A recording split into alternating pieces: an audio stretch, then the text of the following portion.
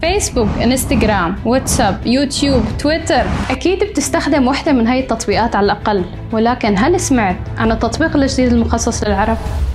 باز. منصة باز العربية. منصة باز. باز. باز. ملايين من الناس حول العالم بيستخدموا مواقع التواصل الاجتماعي سواء لتصفح الأخبار، للمراسلة أو متابعة ناس بيحبوهم.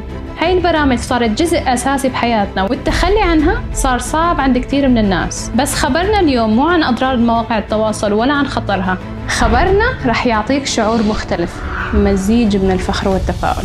لأنه بيحكي عن مجموعة شباب آمنوا بقدراتهم ورسموا مستقبلهم ووصلوا لمنتج عربي فريد. منصة باز هي موقع تواصل اجتماعي عربي تم إطلاقه بسنة 2019 بشكل تجريبي على أيدي مجموعة من الشباب العرب. بعد ما استوعبوا أهمية إيجاد تطبيق بيعكس الثقافة والهوية العربية. وهلأ وبعد سنتين من الإطلاق التجريبي في مئات الآلاف من المستخدمين والمؤثرين اللي قرروا يخلوا باز هو موقع التواصل الأول لصناعة المحتوى.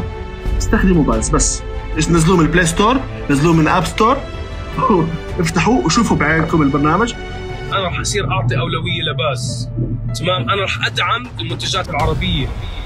صح إنه التطبيق لساته بنسخته التجريبية ولكن مميزاته قريبة كثير من مميزات البرامج الكبيرة.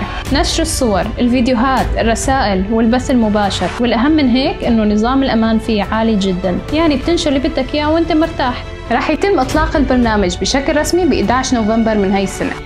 في منصه باز جمع بين فكرة التيك توك وخوارزمياته حقيقية ودقيقة وتدعمك في عملية المشاهدات.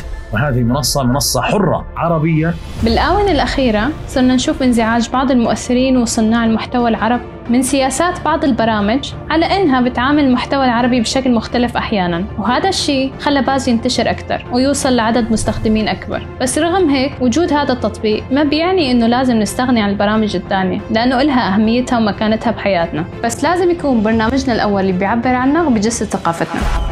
الباز هو نوع من الصقور طير حر بيطير فوق الجبال وعنده نظرة ثاقبة لكل شيء. تماما مثل الشاب العربي اللي بيفتخر بتاريخه ونظرته دايما عن المستقبل. وهي كانت أخبار تستاهل نشاركها.